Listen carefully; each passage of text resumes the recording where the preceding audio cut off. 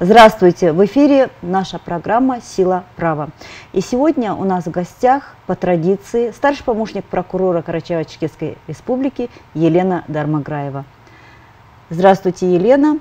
Сегодня мы будем говорить о защите прав предпринимателей.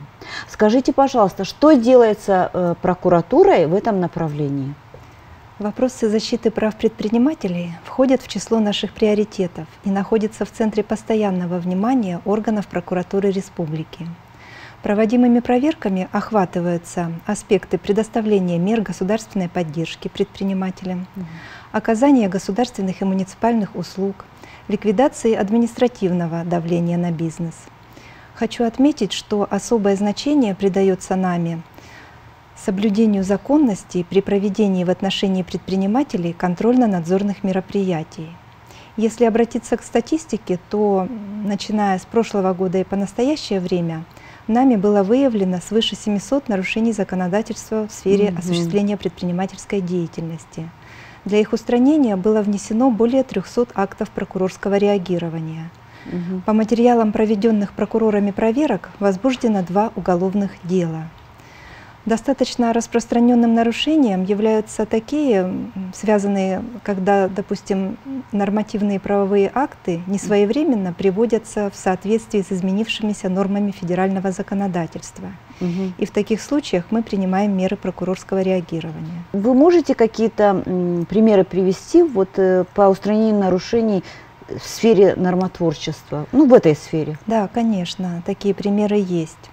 В частности, с учетом замечаний прокуратуры республики, выявленных на проектной стадии принятия нормативных правовых актов, был разработан порядок предоставления грантов на развитие семейных ферм угу. и порядок распределения субсидий сельхозтоваропроизводителям. Угу. Эти субсидии предназначались на возмещение затрат сельхозтоваропроизводителей угу. при закупках ими сельхозпродукции у граждан, которые ведут личное подсобное хозяйство. Еще такой пример. По представлению прокуратуры республики были приведены в соответствие с федеральным законодательством нормативные правовые акты, регламентирующие отдельные виды осуществления регионального контроля.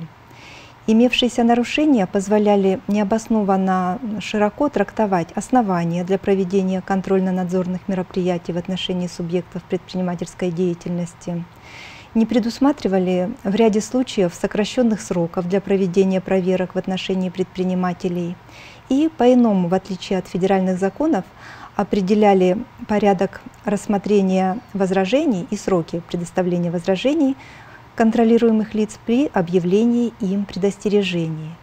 Еще могу привести угу. примеры. Вот при нормативном правовом регулировании в области торговой деятельности нами устранялись имевшиеся нарушения – Прокурорами было принесено шесть протестов на постановление органов местного самоуправления об определении границ, прилегающих к объектам территорий, на которых запрещалась розничная продажа алкогольной продукции.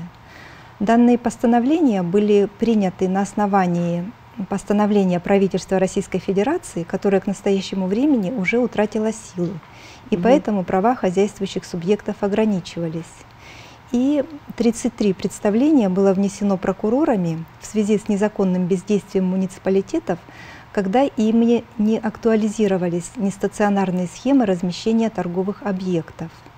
Нарушения выразились в том, что в отдельных случаях принятые нормативные правовые акты не были размещены на официальных сайтах в сети интернет органов местного mm-hmm. самоуправления – и были также выявлены такие случаи, когда не были разработаны правовые акты с определением конкретных мест размещения нестационарных торговых объектов.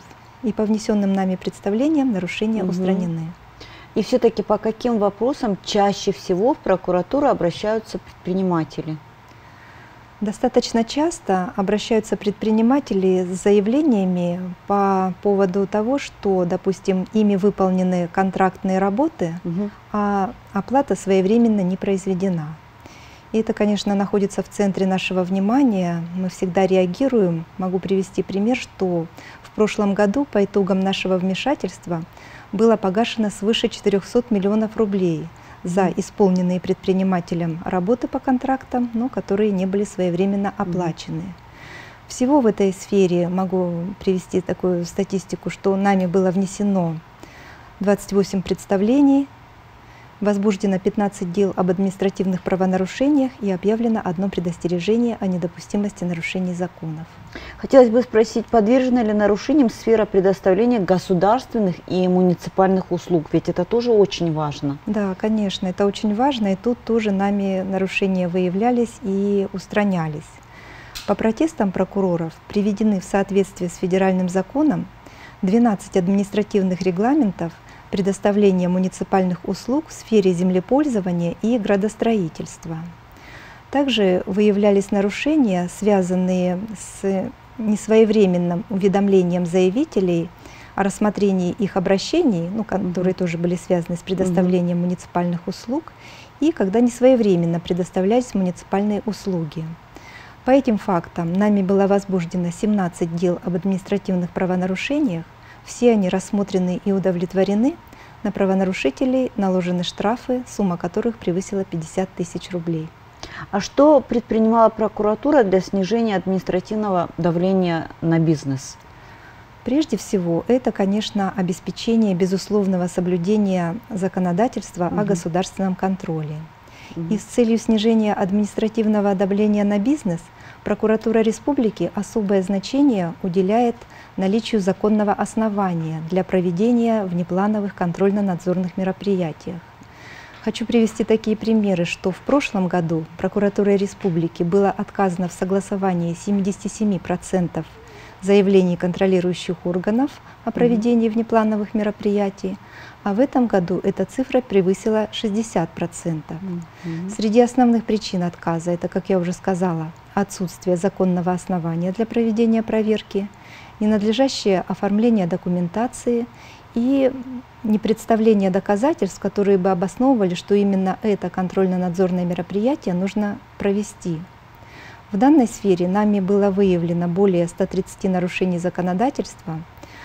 Целях устранения их внесено более 70 представлений, возбуждено более 30 производств об административных правонарушениях, и принесено было прокурорами 18 протестов на противоречащие закону положения нормативных актов, в основном касающиеся проведения муниципального контроля. И по итогам нашего вмешательства результаты двух проверок, проведенных в отношении предпринимателей, были признаны незаконными и отменены.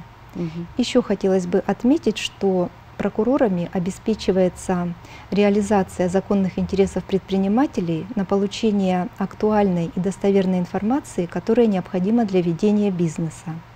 В частности, нами было выявлено бездействие контролирующих органов, когда они не размещали на своих сайтах в сети интернет угу.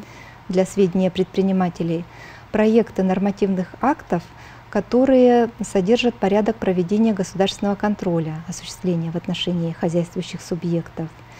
Либо не содержалась информация о мерах ответственности за нарушение предпринимателями обязательных требований, либо же имели место факты, когда такая информация не поддерживалась в актуальном состоянии. И в связи с этим мы вносили представления и приняты меры к устранению допущенных нарушений. Елена, скажите, существуют ли еще какие-то нарушения в данной сфере? Да, еще можно привести такие примеры, когда, допустим, не в полной мере создаются благоприятные условия для ведения предпринимательской деятельности. Прокурорами были выявлены отдельные случаи, когда органами местного самоуправления либо не были разработаны программы развития субъектов малого и среднего предпринимательства – либо же программные мероприятия ненадлежащим образом финансировались или исполнялись, угу. в связи с чем прокурорами было внесено три представления и направлено два заявления в суд. По принятым нами актам принимаются меры к устранению нарушений. Еще могу отметить группу нарушений, которая связана с привлечением к административной ответственности субъектов предпринимательской деятельности.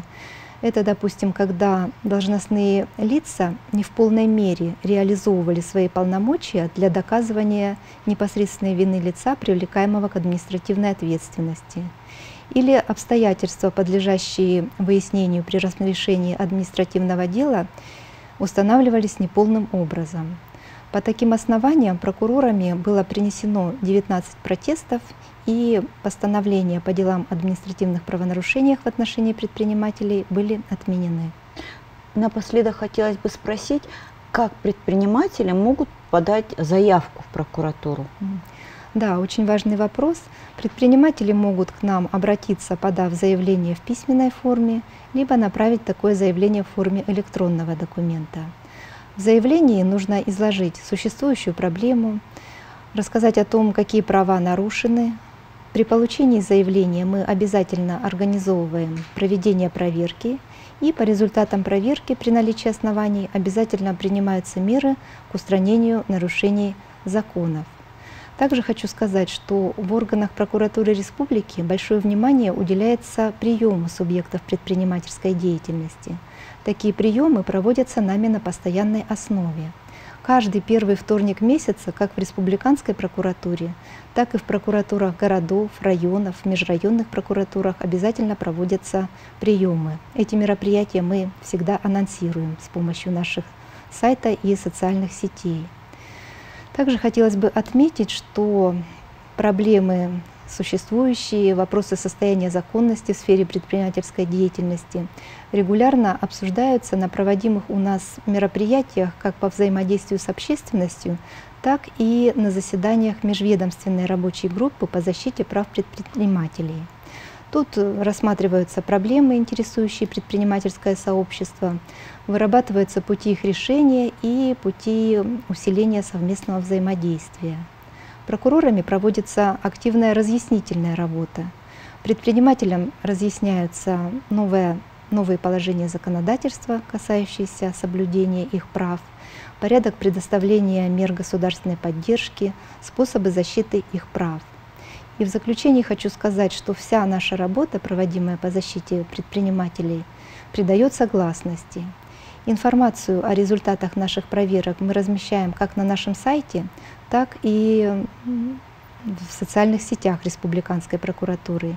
И, конечно же, широко используется потенциал региональных средств массовой информации, за что хочу вам сказать отдельное спасибо. Спасибо. И вам спасибо за полную информацию. Я думаю, предпринимателям эта информация будет очень важна и ценна. Благодарю вас за участие в нашей программе. Спасибо.